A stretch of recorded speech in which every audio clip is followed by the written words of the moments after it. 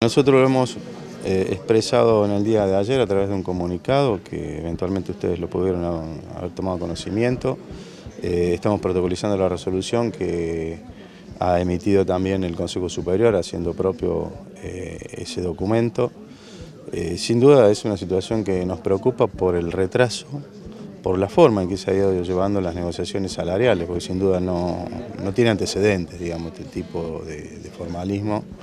Eh, realmente más allá de decir, bueno, llegan las remesas correspondientes al pago de los salarios, los pagos los salarios se pagan, este, los gastos de funcionamiento de alguna manera se han puesto un poco al día en algunos meses que estaban, dos meses y medio que estaban de retraso y hoy estamos solamente con otros dos meses. Este, pensá que tuvimos casi cinco meses de retraso.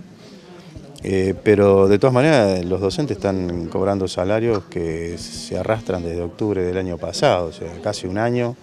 con los mismos valores salariales. Esto es casi como un recorte del cual ya conocemos y hemos tenido experiencia en otras épocas, sumado o puesto en contexto, ¿no es cierto?, del estado de,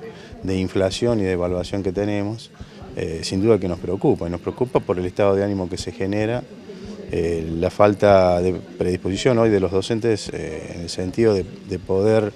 estar pensando en otro tipo de actividades que realiza la universidad, no solamente el hecho de dar clases, sino que los docentes universitarios, los investigadores se incorporan a una serie de actividades como la de investigación, la de extensión, eh, las prácticas sociocomunitarias, estas actividades de vinculación en las cuales la universidad hace mucho esfuerzo porque el trabajo que se está haciendo con este proyecto de atajos